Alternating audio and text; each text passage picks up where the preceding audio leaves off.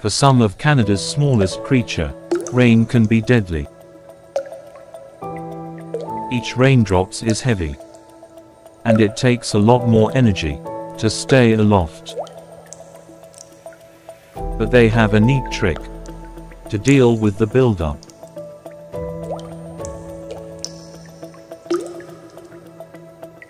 They can shake on midair up to 50 times in a second, keeping their feathers clear of water and the tiny engines revving. The calliope hummingbird is a beautiful and smallest hummingbird, native to the Canada and United States, during winter season found in Central America. Even with the tiny size, these birds are able to survive cold nights at high altitudes in the northern Rockies Mountains.